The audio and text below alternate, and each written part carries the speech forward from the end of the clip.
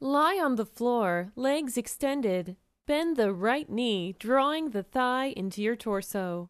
Press the front of the left thigh heavily to the floor. Straighten the knee, pressing the right heel toward the ceiling. Then lower the right leg out to the right and hold it a few inches off the floor.